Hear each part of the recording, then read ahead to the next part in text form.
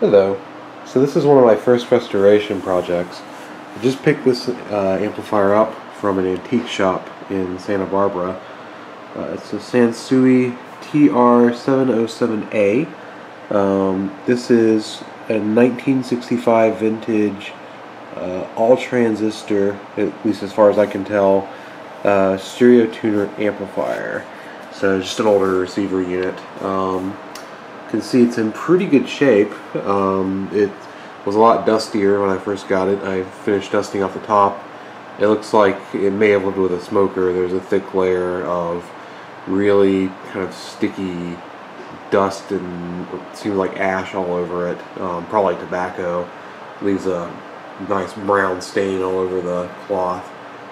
So I want to try to restore this guy.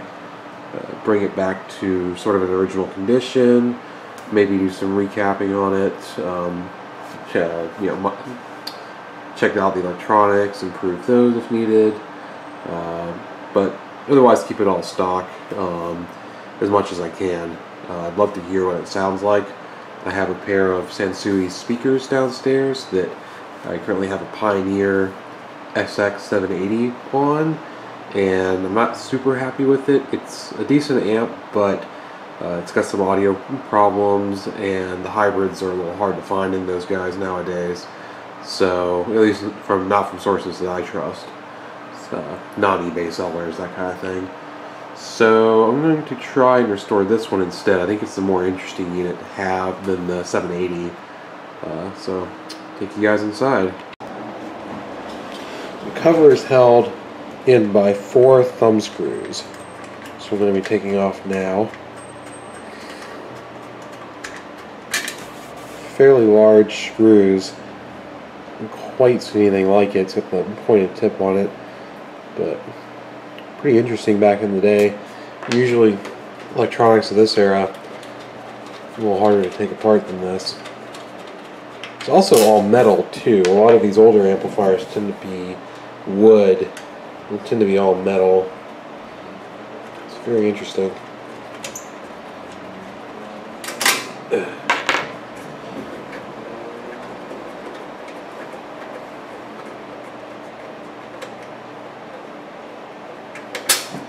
There we go. And let's pick this thing up and pull it out. Oh, it's nasty. Okay. Let's pull this out here.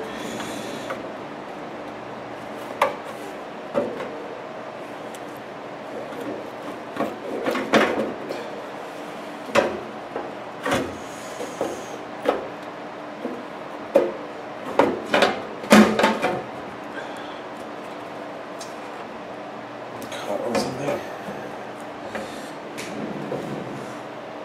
Oh, I see. Let's pull this up here.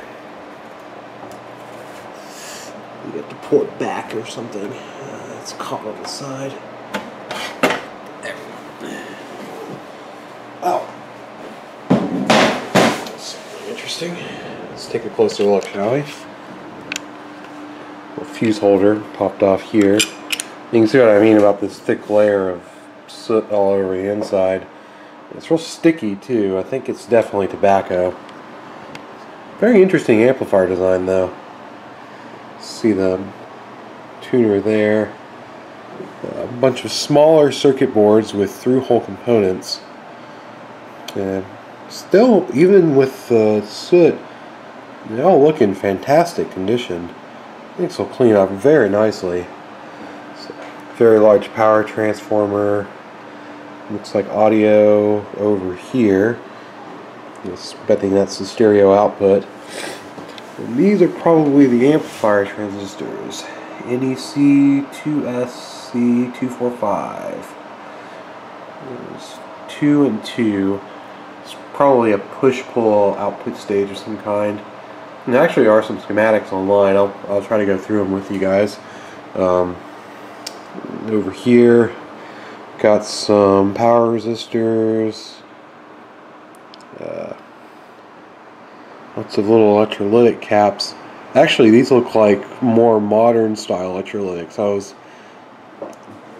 kind of expecting um, I watch a lot of uh, Bob Anderson's videos. He always talks about uh, finding the bumblebee caps, old paper caps you have to replace. These don't look like paper caps. These look like modern electrolytics and ceramic capacitors. It's definitely a high quality. Uh, there's also a lot of diodes in here in glass packages. Can see them at the upper corner there and over there. I don't know if those are germanium or silicon, but needless to bet, they're probably pretty good for this kind of vintage. As you can tell, no tubes. Uh, no bulging caps, no crap flowing everywhere. This could be a pretty easy restore. Uh, maybe just even need some cleanup. Now, I haven't powered this unit on yet. Um, I when I bought it, the fuse unfortunately wasn't installed. And I didn't really want to short the fuse out test it. I had to buy this fuse again. So I've got a couple sets of these. Alright, moment of truth. Let's see, is this thing gonna work? Yay! Pilot light comes on. Looks like we're missing a light on the sound meter there. Uh, probably another light over here that's just out. Oh, the meter came up a little bit. I wonder if that's actually an FM meter. Yeah, it is. Look at that. It actually turned on too. Interesting. Getting signal. Cool. There is a station right around there. Let's see if I can plug in my speakers and get anything out of this. Let's give this a shot.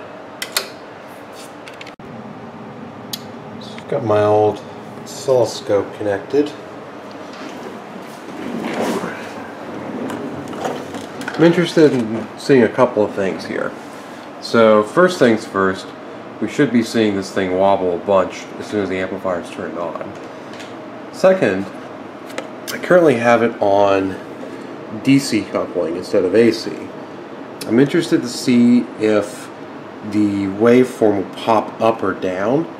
If the cap isn't very good anymore, um, and by cap I mean this AC coupling cap after the amplifier stage. If that cap is shorted or is leaking badly or something like that, it's very well possible that this speaker node will start to crawl up and will be biased. Other thing I'm noticing just now is it looks like there might be some bias anyways. There is a connection to the center channel tap here on both speakers, a 5.6 k ohm connection.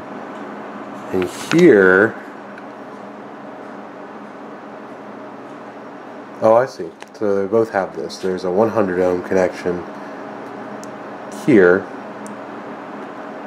and that's between these two resistors, and that biases the speaker. So I wonder if that's supposed to be very close to ground or ground.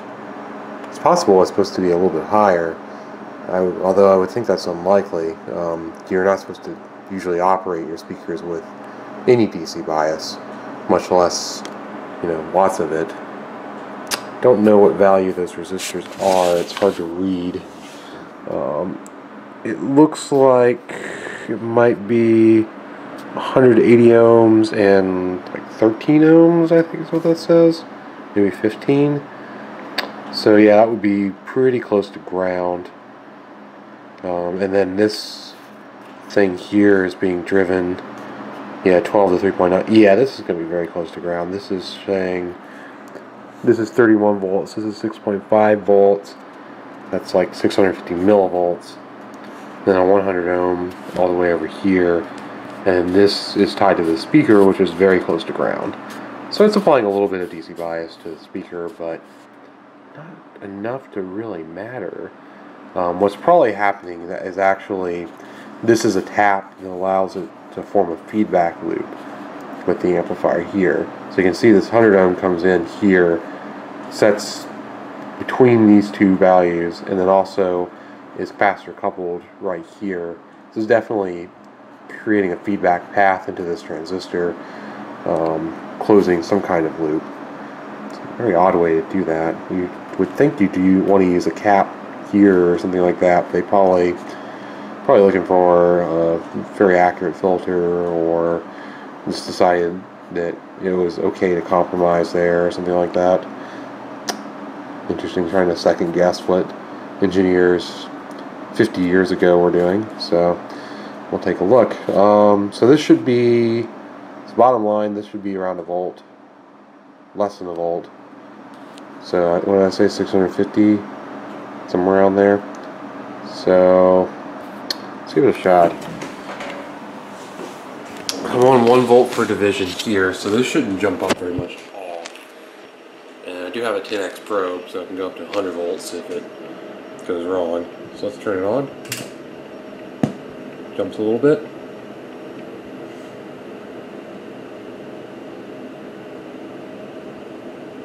Nada. You see it vibrate just a hair, but it looks like it's working. Now I'm going to try touching the metal. No? Whoa.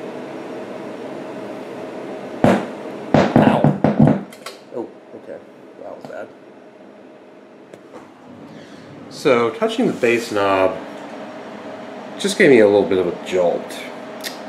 Something tells me there's something wrong with that. That's not quite right. Um, and you could also see too the amplifier started oscillating right after that happened. Sorry, that still smarts a little bit. Um, so that's interesting. Um, yeah, let's try to figure out what's going on with that. Now, it's just the bass knob doing that, or other ones, I don't really want to find out with my finger anymore. But we could certainly fight, find out with trusty screwdriver.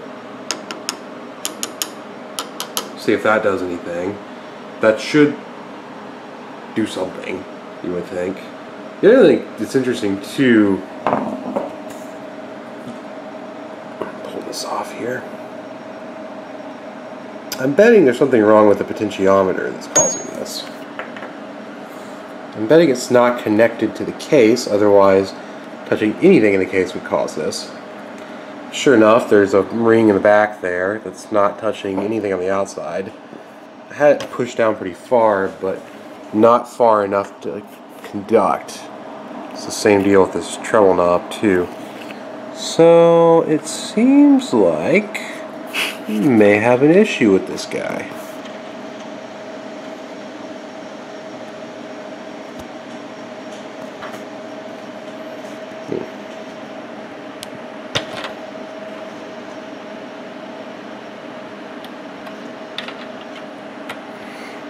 this back on here.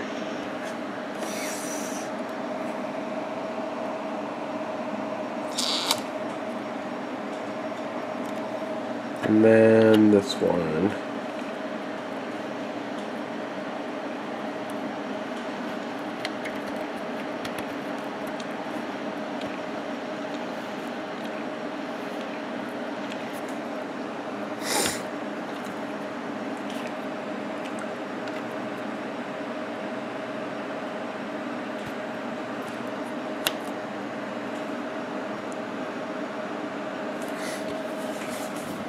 Anyways, very interesting.